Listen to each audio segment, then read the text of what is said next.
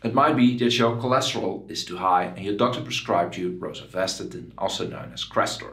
And in this video we will cover how and when to use it, what side effects it can cause, what dosages are useful, and much much more. So make sure to watch the whole video so you don't miss any important information.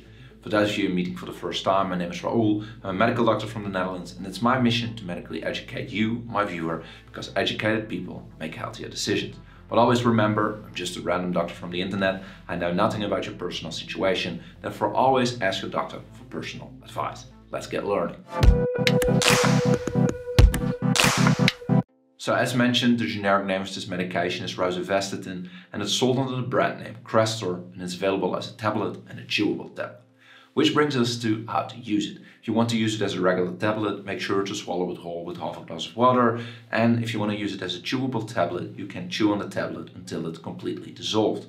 In addition, it's best to take this medicine at fixed times. This will make you less likely to forget a dose. Now, rosuvastatin is part of a group of drugs called statins. They inhibit the enzyme HMG-CoA reductase, which normally plays an essential role in the synthesis of cholesterol in the liver. This lowers the circulating LDL, the total cholesterol, and increase HDL cholesterol. Therefore, rosuvastatin can be used to decrease cholesterol levels and cardiovascular risk. Which brings us to the correct dosages to use. And here I want to mention that you should only use the prescribed amount and frequency your doctor gave you. So your specific dose may depend on your indication of use, side effects you might experience, and severity of your indication. However, when treating adults, most doctors will start with an initial dose of 5 to 10 milligrams once per day, which if necessary can be doubled every 4 weeks up to a maximum dose of 40 milligrams once per day. Now rosuvastatin is a very effective drug, but unfortunately it can also cause several side effects. I will list some of the most common ones in this video, but if you're looking for a complete list, always ask your doctor, your pharmacist, or check your leaflet. Commonly it can cause abdominal pain, nausea, constipation, diabetes, and a headache. Uncommonly, it might cause a skin rash, itching, or urticaria. Rarely, it can cause changes in your blood values or edema, and very rarely, it can cause several severe side effects.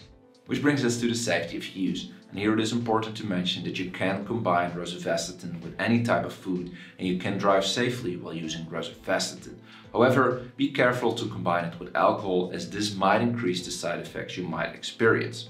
Furthermore, rosuvastatin can be dangerous for pregnant women or for women which are breastfeeding, so please don't use it and always discuss this with your personal doctor. And lastly, rosuvastatin can have interactions with other drugs you're taking. Also discuss this with your personal doctor. Now I hope you know now how to use rosuvastatin, but if you have any questions, let me know in the comment section and I will do my best to answer each and every one of them.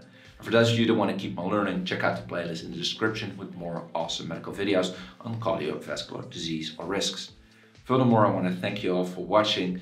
If you would click the like and subscribe button, it will help out the channel tremendously. You will help me reach my new subscriber milestone of 200,000 subscribers. Thank you all so much. I want to give a special thanks to my Patreon supporters as well. Thank you, Sebastian, who is an Investor Tea supporter. And I will see you all next week with a new video. And if you can't get enough, check out the Instagram as well. I recently started posting again. I'm sorry it took so long at How to Medicate. See you there. See you next week. Bye bye.